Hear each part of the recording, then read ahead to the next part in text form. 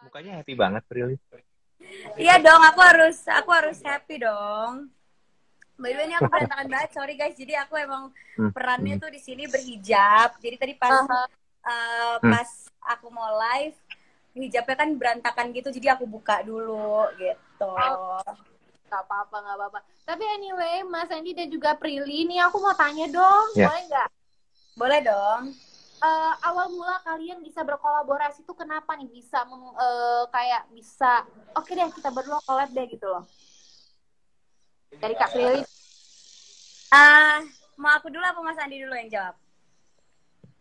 boleh siapa aja nih Tadi Prilly dulu, Prilly dulu. Sebenarnya aku sama Mas Andi itu kita tuh udah eh, apa ya menjadi sahabat dan teman cerita sebe- jauh sebelum adanya proyek ini gitu. Jadi memang Mas Andi selalu menjadi tempat di mana aku mencurahkan semua isi hati aku. Nah, Oke. terus terjadinya proyek ini juga sangat impulsif sekali karena pada saat itu tuh dimulai hanya dari aku pengen main ke apartemennya Mas Andi. Jadi pada saat itu Oh. aku lagi menghadapi satu kejadian yang membuat aku kayaknya pengen cari hiburan, pengen pengen bercerita sama orang yang terdekat aku gitu. Akhirnya Mas Andi lah. Akhirnya aku bilang Mas Andi, aku kayak mau ke apartemen Mas Andi gitu. Akhirnya aku ke apartemen Mas Andi. Terus aku menceritakan di situ semua keluh kesah aku dan segala macam jalan percintaan yang terlihat tenang namun ternyata Berliku. namun ternyata cukup berliku gitu kan. Terus tiba-tiba pas aku cerita tuh Mas Andi sambil main piano. Akhirnya Mas Andi ngomong kayak lucu nih kalau cerita-cerita kamu eh, dijadiin lagu atau salah satu cerita yang nempel banget di kamu atau misalnya cerita temen kamu atau siapa pun itu jadi na- Mhm. jadi jadi lirik aja gitu. Akhirnya jadilah project apa lagi ini. Oke ini bisa berarti bisa dibilang kayak awalnya itu cuma iseng doang gitu loh bener gak sih Iya, benar-benar nggak ada kepikiran Iseng. sama sekali untuk bisa jadi kayak gini gitu. Karena emang sesimpel aku butuh temen dan pada saat itu emang selalu Mas Andi yang ada. Mhm. Aku ceritain dan aku kan cukup tertutup masalah percintaan aku, sangat-sangat tertutup gitu. Mungkin terlihatnya open gitu ke semua orang cerita padahal aku tuh tertutup banget masalah percintaan dan cuma Mas Andi yang aku percaya gitu. Jadinya kayak ya udahlah ke Mas Andi. Sekarang masih apa, Pril? iya nih kita Kan kamu tahu, Mas. tapi kan semua orang yang di live ini nggak tahu tuh kak Sama Pak Arya kan? Nanti aja kalau ijab kabul ya, guys. oke tadi kan Bukan nama kan Pak Pak Arya. Aransemen tuh Mas Andi kan ya. Hmm. Dan Hmm. katanya Iya. betul kita buat liriknya nih. Kalau misalnya diakumulasiin itu udah eh, proses pengerjaannya dari awal sampai akhir itu berapa lama sih? Hmm. Berapa ya, Oke, Mas? bikin musik. Bikin musik cepat ya kita waktu itu, Pril.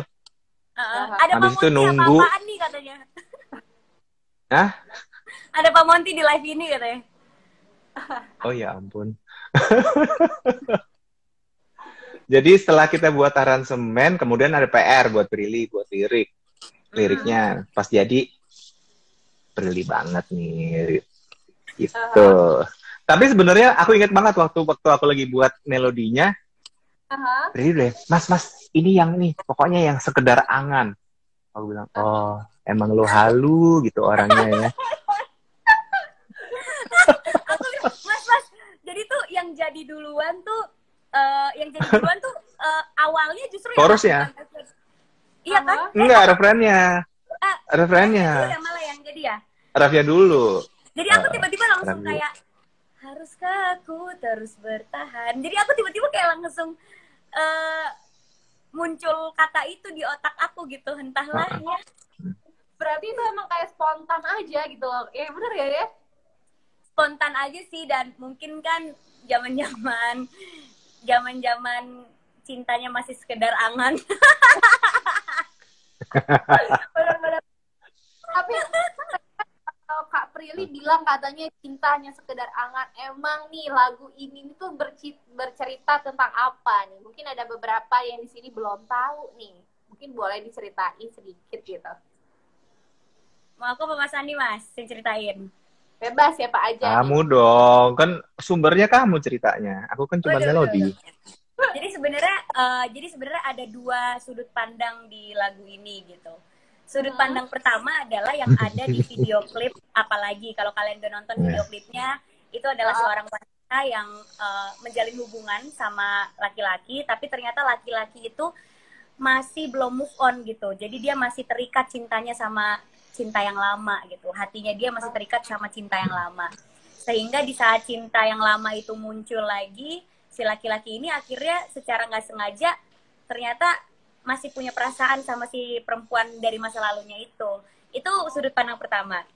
Ah, Tapi sudut pandang kedua adalah kadang kita itu mencintai orang yang tepat, tapi di waktu yang nggak tepat. Mhm.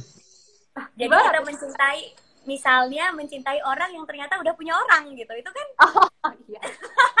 itu kan kayak oke, mungkin lo adalah orang yang tepat buat gue, tapi Hmm. waktunya aja nggak tepat. Lo masih keikat sama komitmen lain atau Oke. eh, mencintai orang di saat kita udah punya komitmen sama orang lain kayak gitu. Jadi mencintai orang di waktu yang nggak tepat gitu. Jadi ada dua sudut pandang itu. Makanya cinta sekedar angan tuh itu selain cintanya yang se- yang sekedar angan tapi juga relationshipnya gitu.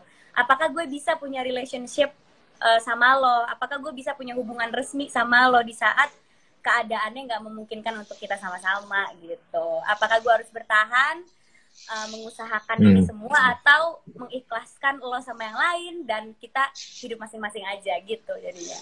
Oke, ini kayaknya Sudut- Sudut pandang ketiga, sudut pandang ketiga. Tapi ini kayaknya Sudut pandang ketiga biar aku saja yang tahu mas.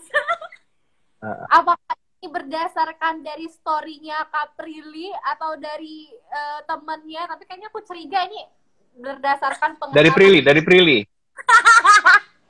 Apa- Aduh.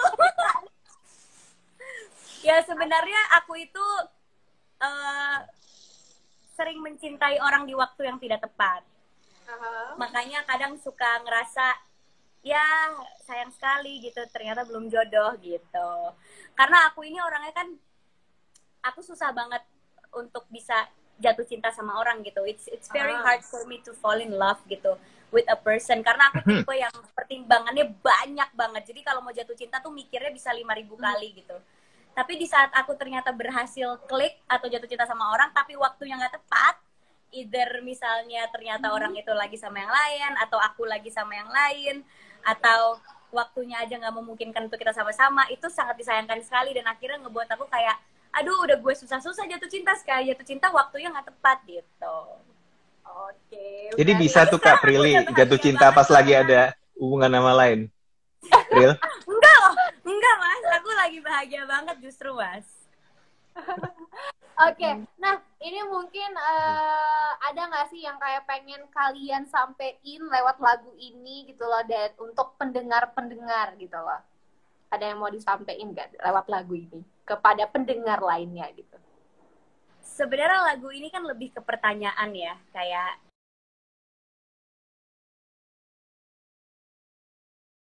apalagi gitu kan